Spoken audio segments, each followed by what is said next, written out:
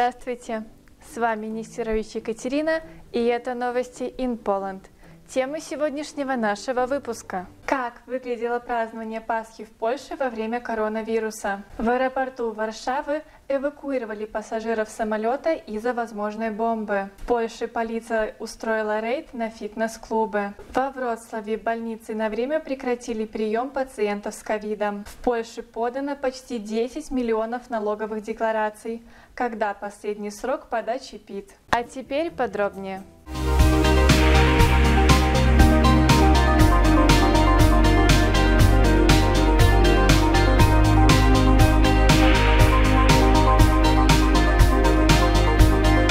Во Вроцлаве полиция проверила фитнес-клубы, которые решили открыться в период пандемии. Полиция обнаружила два действующих фитнес-клуба. Там тренировалось более 20 человек. Им выписаны повестки в суд. Против владельцев клуба также были возбуждены уголовные и административные дела. Первый фитнес-клуб находился на Белянах Вроцлавских. В нем было 18 человек, а второй в центре города. Там было 8 человек. Как заявил пресс-секретарь полиции, в отношении всех людей были приняты. Он добавил, что за последние три дня вроцлавские офицеры провели проверку свыше тысячи раз. В отношении более 235 человек были приняты меры в связи с несоблюдением ограничений. Они наложили 216 штрафов и подготовили 16 заявлений.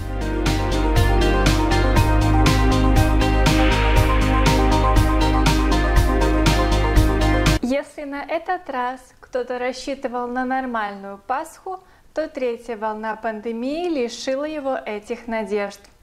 В этом году можно было забыть о семейном отдыхе в компании с десяткой более человек.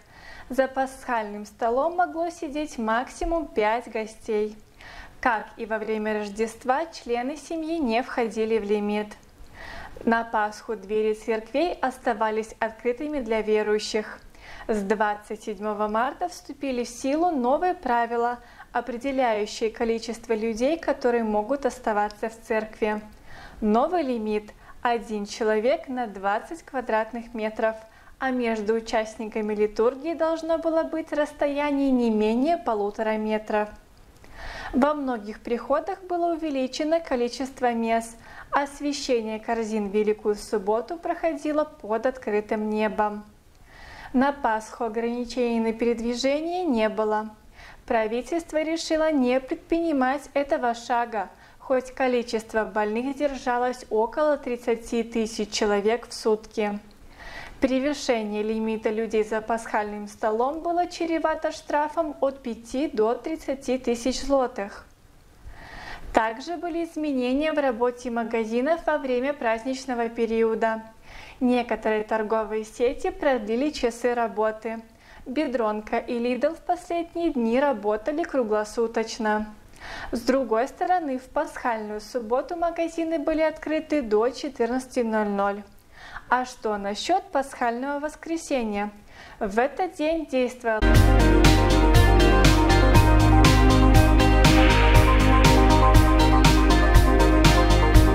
В воскресенье вечером в службу аэропорта имени Шопена поступила информация о том, что на борту одного из самолетов может быть взрывное устройство. Пиротехники проверили транспортное средство. Ничего не найдено. Это была ложная информация.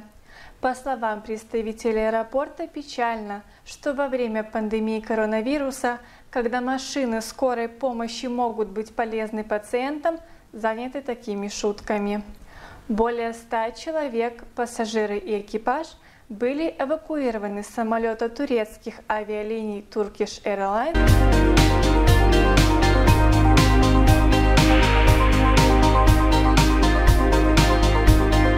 В рамках кампании по сдаче налоговых деклараций в этом году налогоплательщики уже более 9 миллионов деклараций – 91% из них были поданы в налоговые органы в электронном виде и только 9 в бумажной форме.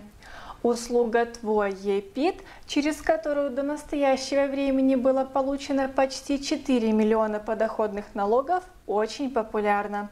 Декларации также можно подавать через систему «Е-декларация».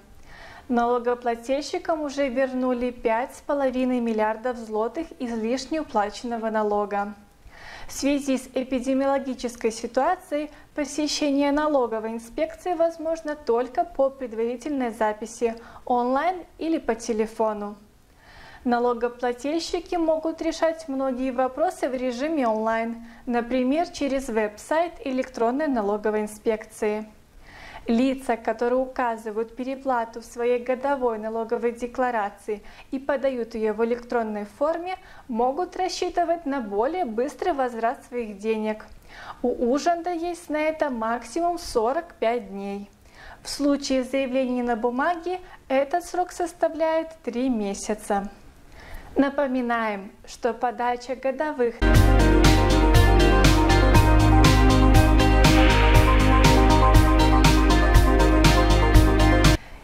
Информацию о приостановке приема пациентов с ковид в одной из больниц сообщил в субботу пресс-секретарь Управления Маршалковского Нижнесилезского воеводства Михаил Новаковский. По его словам, на это решение повлияла ограниченная пропускная способность кислородной системы – все госпитализированные пациенты, в том числе нуждающиеся в кислороде, находятся под постоянным медицинским обслуживанием. В больнице есть запасы кислорода. Ранее о ситуации была уведомлена скорая помощь, а пациенты с коронавирусом были отправлены в другие медицинские учреждения. Это следствие той волны инфекции, которая сейчас идет по всей стране. Через день появилась информация, что специализированная больница имени Марчинякова в Вроцлаве возобновила прием пациентов с COVID-19. Кроме того, в воскресенье Новаковский сообщил, что теперь воеводская больница во Вроцлаве приостановила прием новых пациентов с COVID-19 из-за ограниченной пропускной способности кислородной установки. Через несколько часов, когда мощность установки увеличилась,